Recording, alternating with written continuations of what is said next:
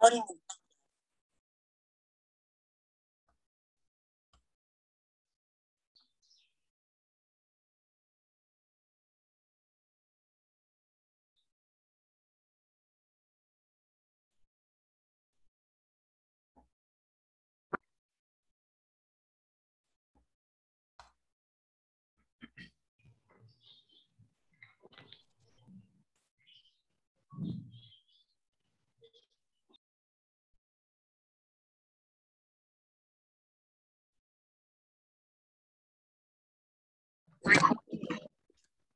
Buenas tardes, muchachos, ¿cómo están?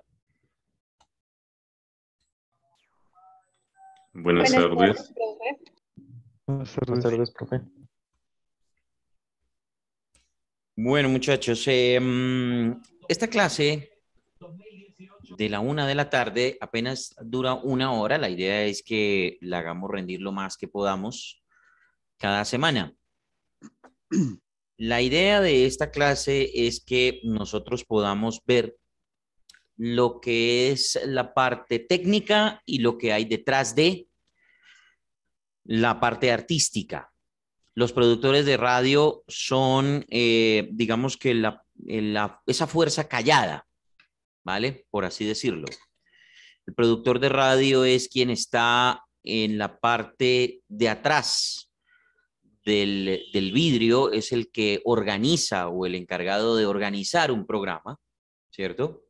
El productor de radio también está pendiente de todo lo que tenga que, de todo lo que sea externo al programa. También tiene que organizar las agendas, tiene que estar controlando los tiempos. Cuando digo organizar las agendas me refiero a eh, todo lo que tiene que ver con los invitados que pueda tener un programa, ¿cierto? Mm, debe organizar, por supuesto, los tiempos que requiere cada invitado que va a tener un, programa.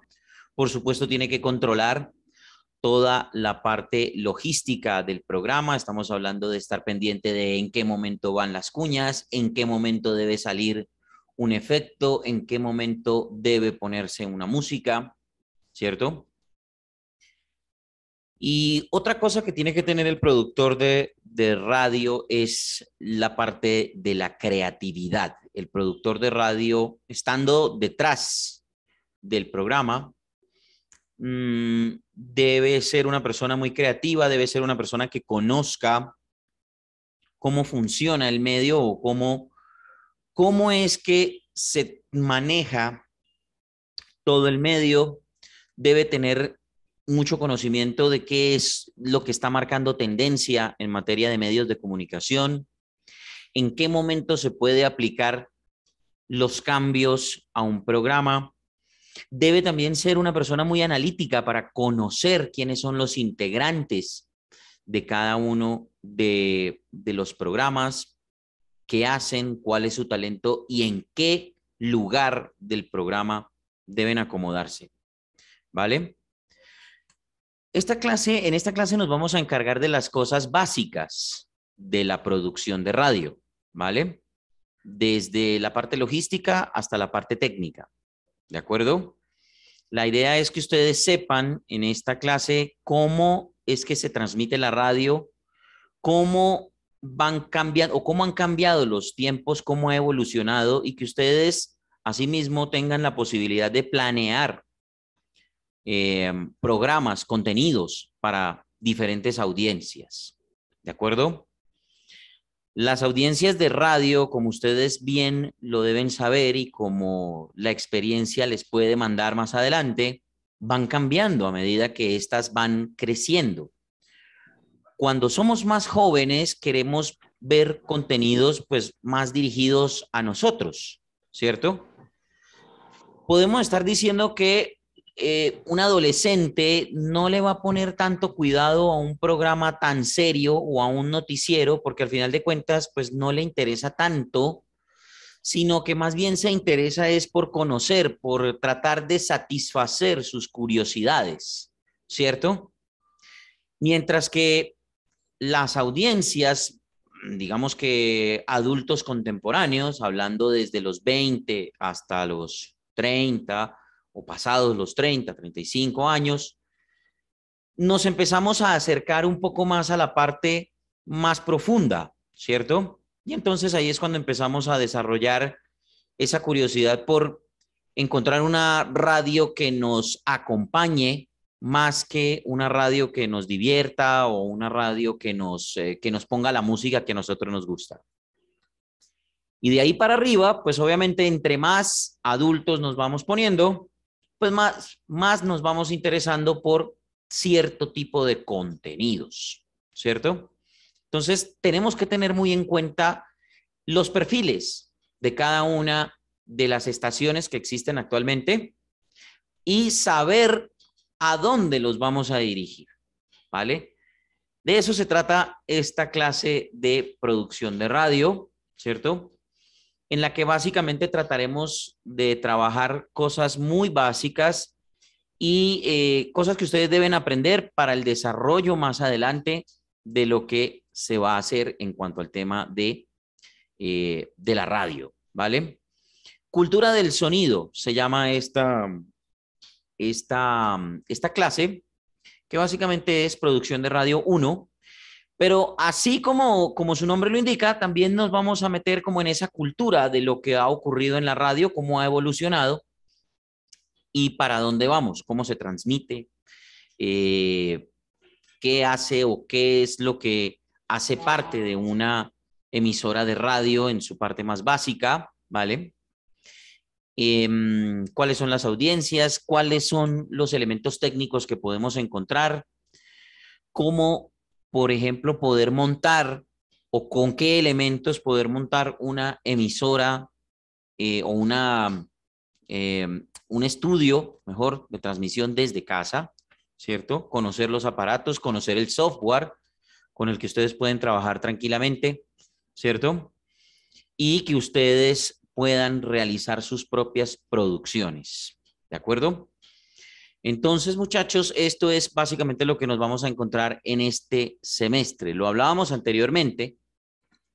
Y cuando ustedes le echen un ojito al tema de la historia de la radio, se van a dar cuenta de la gran evolución, de la gran evolución que hemos tenido. Aquí, por ejemplo, les comentaba hace un rato que aquí, por ejemplo, en Colombia todavía tenemos dos bandas para transmitir. ¿cierto? Tenemos la banda de AM y la banda de FM, ¿cierto? Más adelante veremos cuáles son las diferencias entre cada una, pero digamos que la diferencia más radical entre la banda de AM y la banda de FM es el sonido, ¿cierto?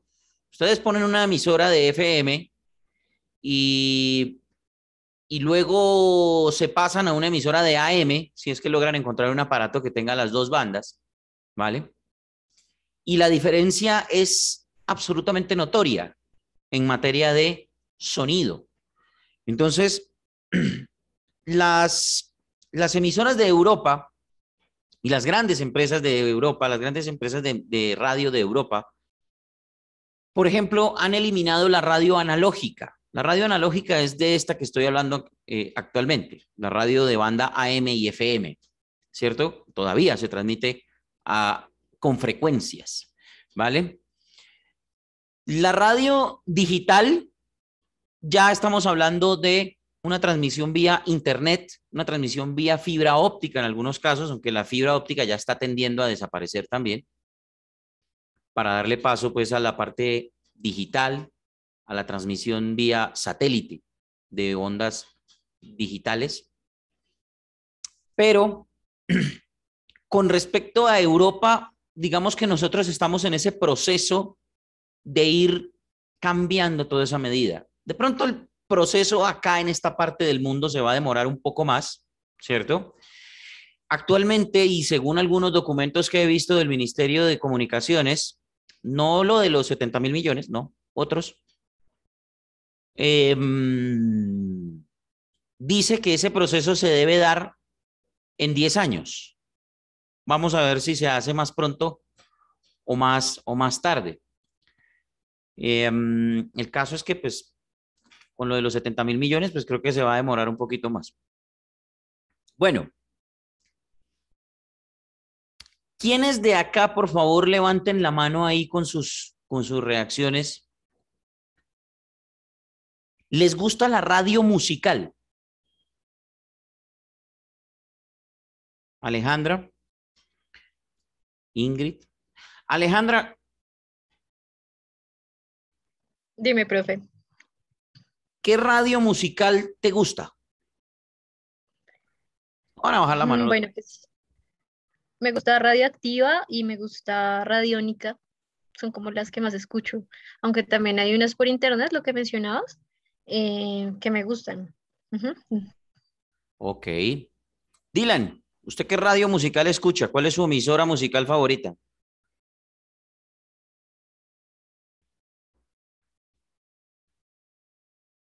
Dylan. No, sigue con problemas. Francisco. Sí, señor. Bueno, la, radio que se está produciendo en este momento, en la cual pertenezco, es la radio musical, música tropical, una programación eh, netamente de catálogos, solo éxitos, que pues ustedes las pueden escuchar a través de los 970. Correcto, en el AM de Radio Red, ¿vale? Sí, señor. Eh, y pues, por supuesto, obviamente por, por el trabajo, Francisco, usted le toca ponerla. Sí, allá se hace de todo. ¿no? ¿Le ha cogido gusto o, o escucha otra? No, indudablemente me gusta. He pasado por, eh, afortunadamente y gracias a Dios, por todos los eh, diferentes géneros musicales, desde rock, en una frecuencia que se llamaba Beverly Hills, música tropical, vallenato, he manejado música colombiana, boleros, salsa, y, y todo depende, digamos, en sí, eh, a la parte en la cual está enfocada la estación. Correcto. Sí, es que, es que estando allá ya es otro cuento. Sí, es otra historia, claro. Y aparte de todo, que, que, Francisco pues está en contacto con las demás estaciones de, de la Torre Sonora y pues mucho más fácil, mucho más fácil. Gracias, Francisco. Leonardo. Eh, los 40 principales y Mix Radio. 40 principales y Mix Radio. Bueno, Dylan, ¿usted está por ahí? Active el micrófono, por favor. Hace rato hicimos una prueba y, y, le, y le salió bien. Bueno, por supuesto, como somos jóvenes, ¿cierto? Pues la gran mayoría, la gran mayoría de los que estamos aquí somos jóvenes. Pues, mm, si ustedes se dieron cuenta, pues las emisoras son musicales más que todo orientadas a la parte juvenil. Lógico, la edad nos, nos permite tener, darnos ese gusto de la radio juvenil. Pero por supuesto, si ustedes le preguntan a sus papás o a sus abuelos, se van a encontrar con una generación diferente, que de pronto en, en ese momento, cuando ellos eran jóvenes, escuchaban música juvenil, pero que ahora qué sé yo, les gustarán los boleros, las rancheras, em, de pronto la salsa eh, e, elegante, la salsa romántica, ¿cierto? Eh, la, como dice el chombo, la, la, salsa, la salsa sexual, sensual, digo, sexual, sensual, ¿cierto? No sé si han visto el, el, el, el blog de Te lo dijo el chombo. No, señor. Los que les gusta la música, se los recomiendo para que aprendan un poquitico de música. Sí, profe, yo he visto varios videos del Chombo. Es un crack. Incluso lo sigo. Hace transmisiones en Facebook también. Ajá, correcto. Es correcto. Se los recomiendo, búsquenlo. Te lo dijo el Chombo. Así aparece. Y eso obviamente en materia musical.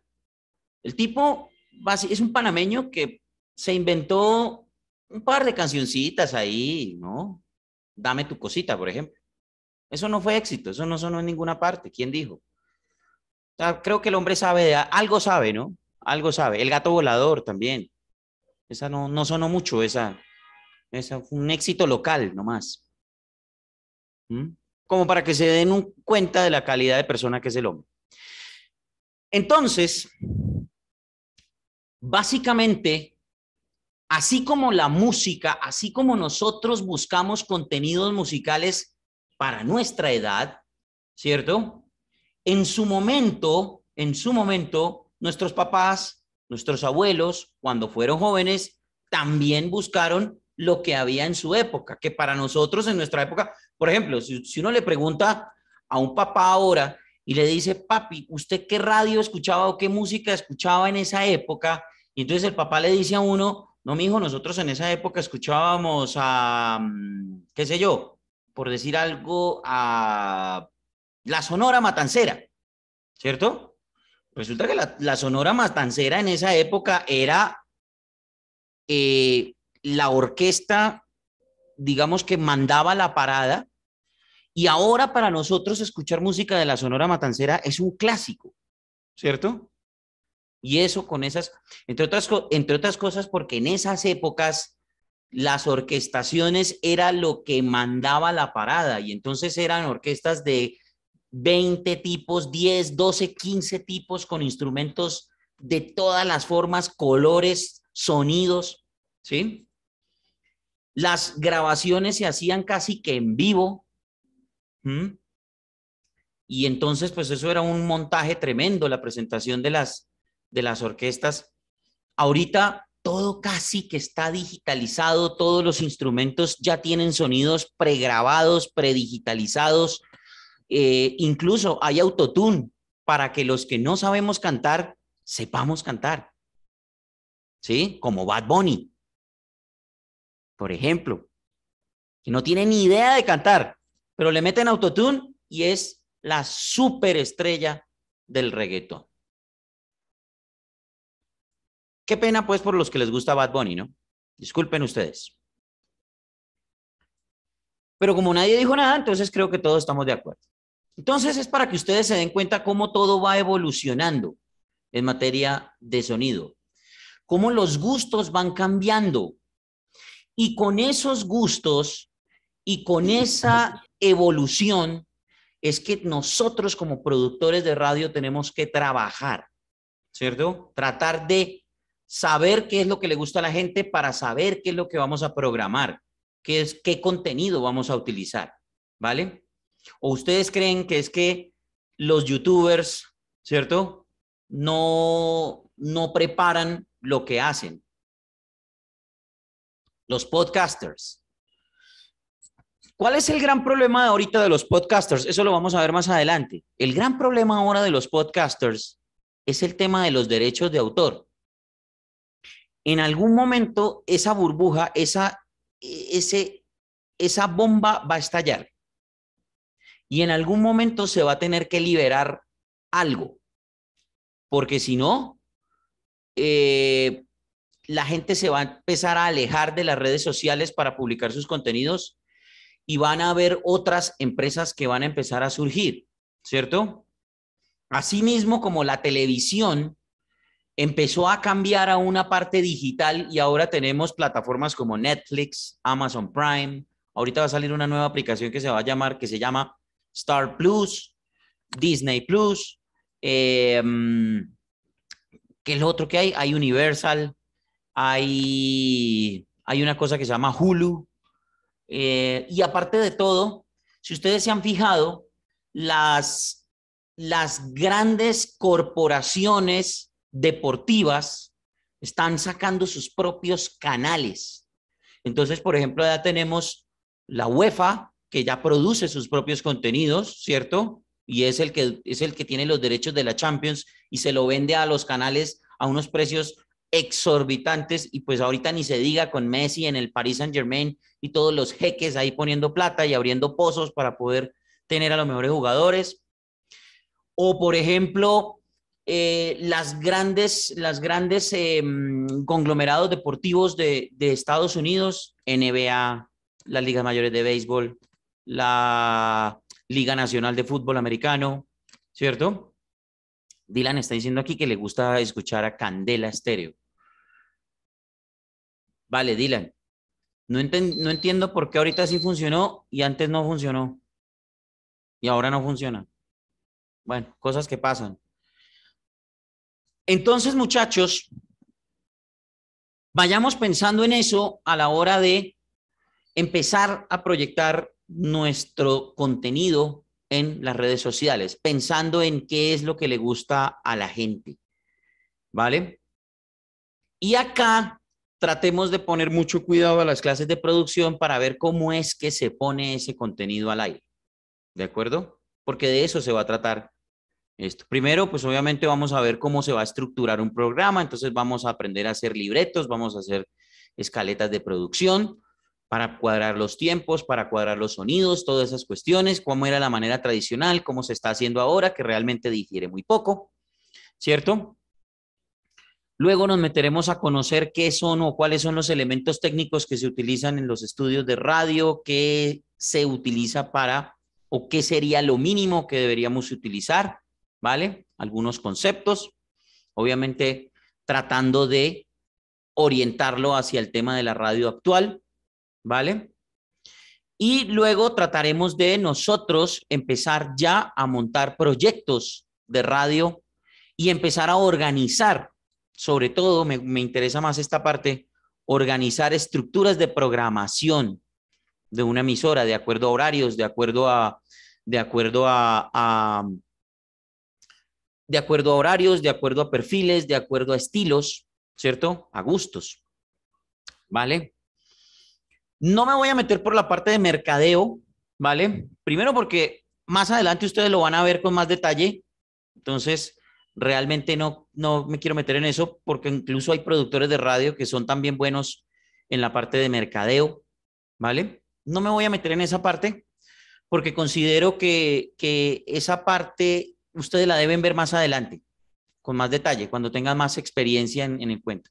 Más bien nos vamos a meter es en la parte técnica, ¿vale?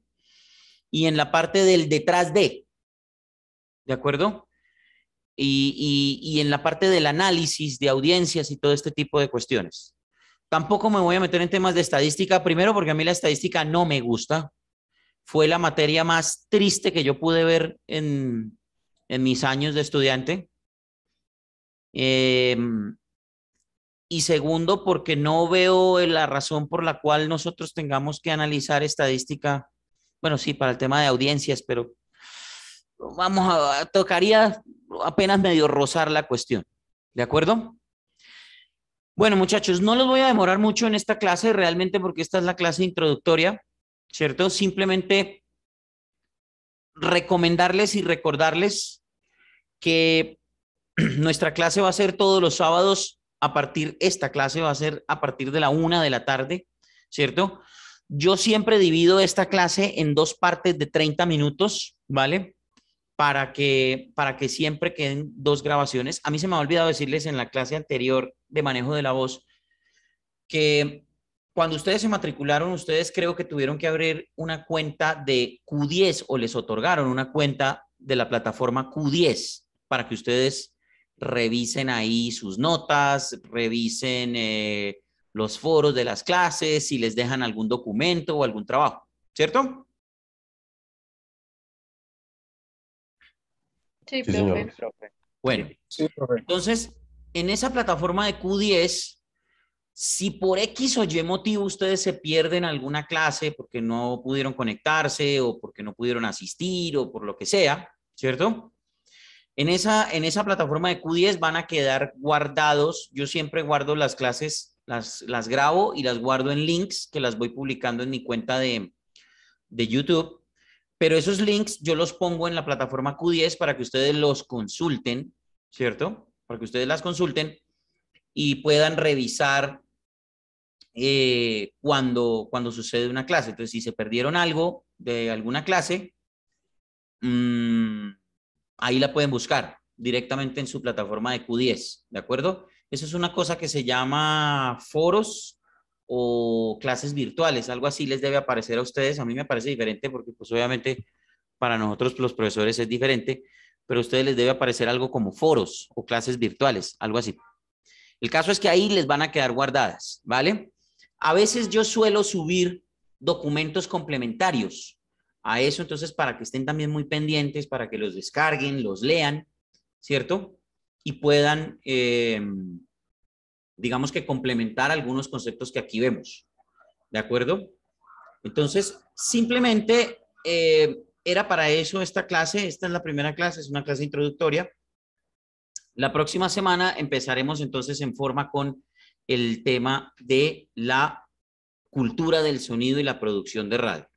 Recordarles también, muchachos, que para la próxima clase en manejo de la voz, la idea es que esta, que esta clase de cultura del sonido la complementemos o que sea complementaria a la clase de manejo de la voz, ¿vale? Entonces, echémosle un ojito a la historia de la radio y también tratemos de orientarla un poquito hacia lo que de esa historia de la radio podríamos llevar a la parte de la producción, ¿vale? Y, poder mirar, porque la próxima semana vamos a mirar todo el tema de cómo es que se está transmitiendo la radio en este país, ¿vale? Entonces, pues simplemente para que le echen un ojito y traten de hacer la relación, si es que hay alguna relación, ¿vale? A lo que vamos a ver la próxima semana. ¿Vale, muchachos? No los demoro más, simplemente les agradezco que se hayan conectado a esta clase de cultura del sonido. Nos vemos la próxima semana. Descansen una media horita mientras se conectan a su próxima clase. ¿Qué les toca ahorita? Fonética, creo. Guiones y gramática, profe. Eso, gramática. Gramática con, con Álvaro Javier, ¿cierto? Sí. Bueno, aprovechenlo porque él es un gran profesor. Él es un gran profesor. Aprovechenlo. ¿Vale? Bueno, muchachos, juiciosos, descansen un ratico mientras se conectan a, a gramática, ¿vale? Mucho juicio, por favor. Vale, profe, muchas gracias. Buena tarde. Gracias, profe. Hasta luego. Hasta luego, profe. Gracias, profe. Hasta luego. Gracias, profe, que esté bien. Gracias, profe. Hasta luego.